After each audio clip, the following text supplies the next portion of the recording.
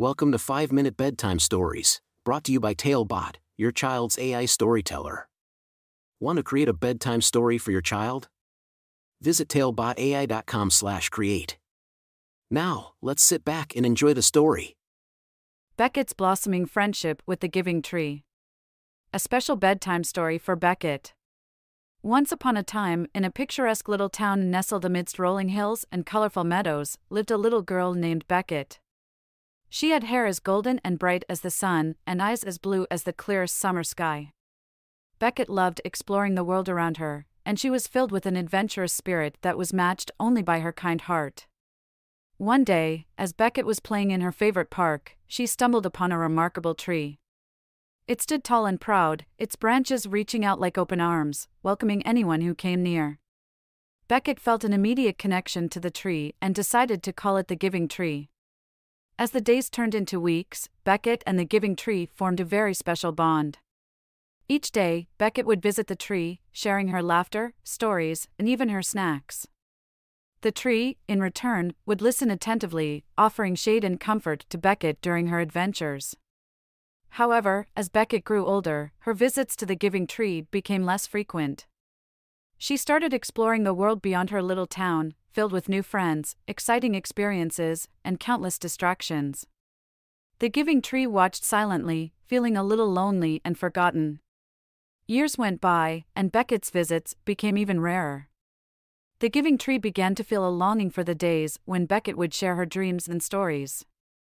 Its branches began to droop, and its leaves lost their vibrant green color. But no matter how much the tree longed for Beckett's presence, it never stopped loving her.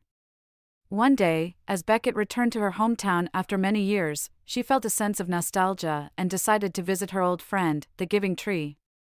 As she approached, she noticed the tree's weary appearance and realized how much it had given her throughout the years. With a heavy heart, Beckett approached the Giving Tree and gently touched its weathered trunk. Tears welled up in her eyes as she realized that she had taken the tree's love and generosity for granted.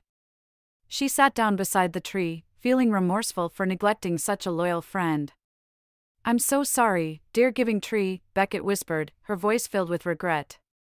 I've been so wrapped up in my own world that I forgot to cherish the precious friendship we shared. As Beckett spoke, a jolt of energy coursed through the giving tree's branches. Its leaves regained their vibrant green, and its branches straightened, full of life once again. The tree's love for Beckett was stronger than ever, and through her apology, Beckett had awakened something magical within it. From that day forward, Beckett and the giving tree were inseparable.